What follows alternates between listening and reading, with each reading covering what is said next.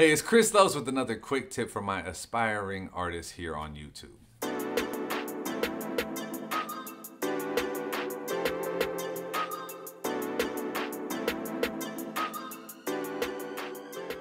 Know why.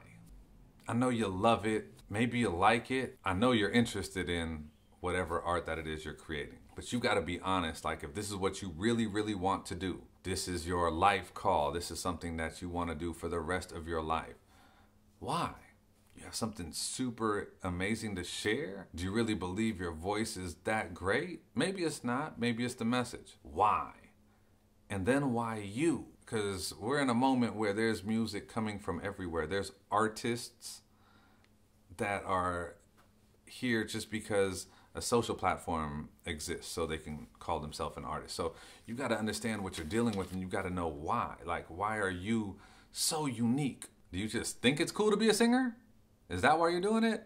If it is, stop right now. Okay, just chill out now.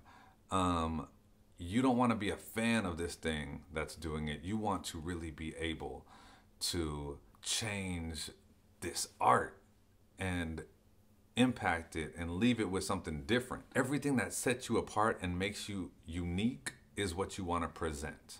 All right? That's like the real deal. Like when you know that why, present yourself that way. It's not easy. There's no guarantee to this. Do you hear me? No guarantee. Not easy at all. Might not even happen for you. Okay, cool. Now, if you're still here with me and still listening, you got what it takes because you know you're in it. Present yourself the right way in the most unique way that you can. Do it that way, and you got the best chance at succeeding, but know your why.